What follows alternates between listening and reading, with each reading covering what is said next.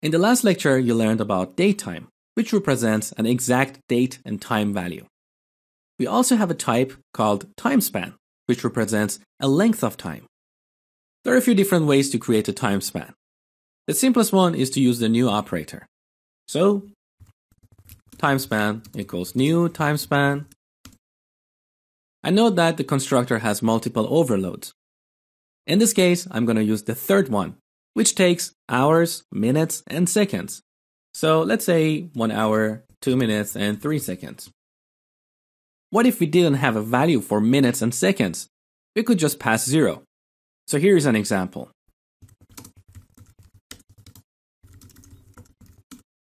One hour, zero minutes, zero seconds. The only issue here is when you look at this time span object, sometimes it's not quite clear what do these zeros represent? Is it the hours, minutes? It's not quite clear. So a more readable way to create the same time span object is use two static methods on the time span structure. So time span has a bunch of static methods and they all start with from. From days, from hours, milliseconds, minutes, seconds, and ticks. So I can just use from hours and pass one here. And note that between these two lines, the second one is more readable. There is also a third way to create a time span. If you have two datetime objects and you subtract them, the result is a time span. So something like this.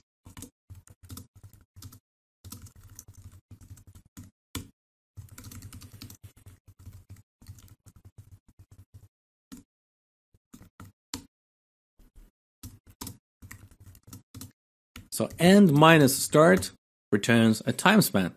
In this case, that time span represents 2 minutes. Let's display it on the console.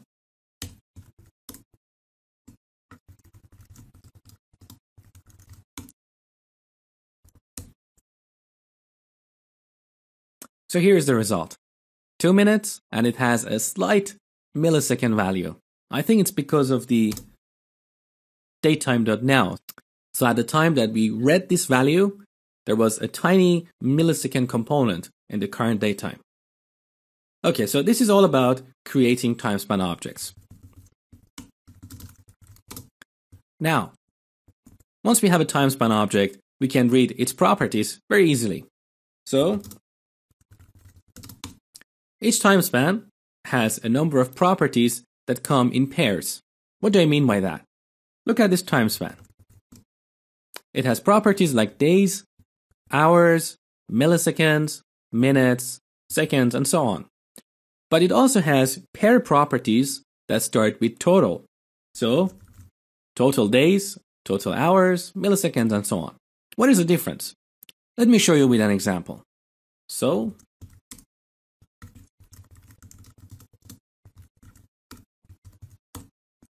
I'm going to duplicate this line and this time, I'm going to display total minutes. So the minutes property returns the minutes component of your time span object. So in this case, our time span is here. The minutes component is 2. So that's what's returned from minutes. Total minutes converts that time span object to minutes. So in this case, it's going to return uh, one hour, which is 60 minutes, plus two minutes, plus three seconds, which is a fraction of a minute. So let's take a look at the result. So as you see, minutes is 2, whereas total minutes is 62.05. Next, similar to the datetime object, the time span is immutable, which means once you create it, you cannot change it but it provides a couple of methods to modify its value add and subtract. Both these methods return a new time span. So let's take a look at a couple of examples.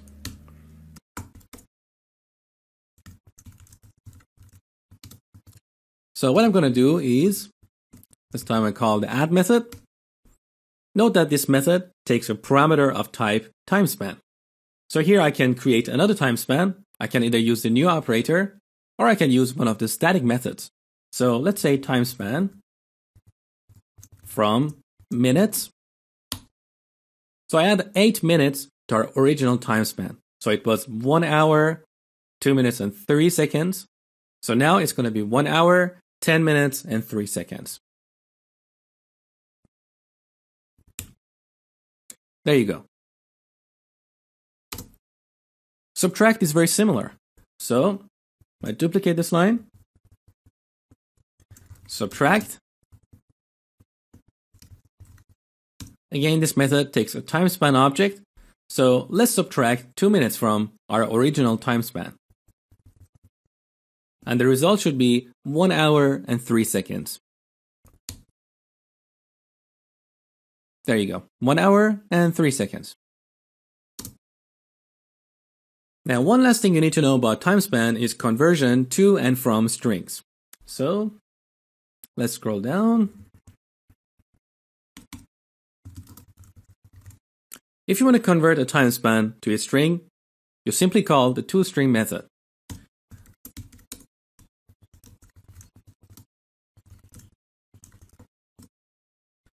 But note that in this case, toString is grayed out. What does it mean? That means console.writeLine by default calls this method on any object you pass to it. So you don't have to explicitly call it.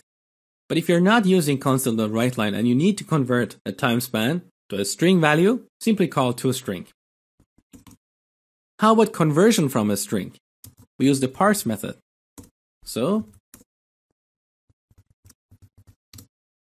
time span dot parse that takes a string so let's say one hour, two minutes, and three seconds. And that returns a time span object.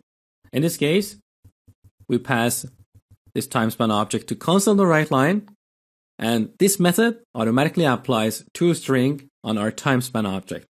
Let's take a look at the result. There you go. So parse, one hour, two minutes, and three seconds. That's pretty much all you need to know about time span. I hope you enjoyed this lecture and thank you for watching.